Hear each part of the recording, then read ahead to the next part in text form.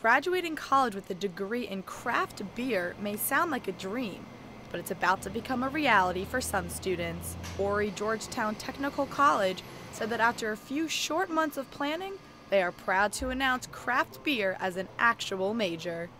It's exciting for us because we're going into a brand new field of study that we think is going to be attractive to uh, individuals. One student says the buzz around Horry Tech since the news has been nothing but positive. People are responding well to it. Like they're not like, oh, we're we're going to we're going to major so we can party, and like they're they're they're looking at beer. Beer is becoming more of an art form, like crafting beer. I'm actually finishing up my civil engineering degree. I'm going to come back to Tech and pursue another degree into the brewery program that they're going to offer. Reaction to the news around USC's campus were all too similar. Wow, that is awesome. Are you kidding? That's awesome. I kind of want to transfer. we'll forget this whole educating the rest of like humanity for me and being a teacher. I'll just go and be a beer major instead. That's awesome. While most students were rightfully shocked at the thought that you could major in craft beer, what they don't know is USC might be closer to a major similar to this than you think.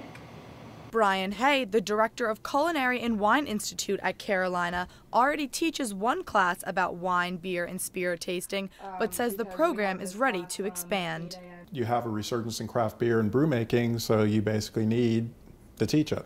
Here now, we're actually going to go and do a specific beer class. It's going to be just completely on beer, going through ales, lagers, possibly some brewing, and hopefully finish off with a trip. Brewmaster and owner of Hunter and Gatherers is excited about craft brewery becoming a bigger topic, but also skeptical. Hopefully, there are not going to be too many schools and too many graduates for the number of jobs that there are. Um, right now, it's already a pretty low paid job because there, people want to work in this industry. But despite the possibility of low pay, a major in beer might be just as irresistible as a cold pint.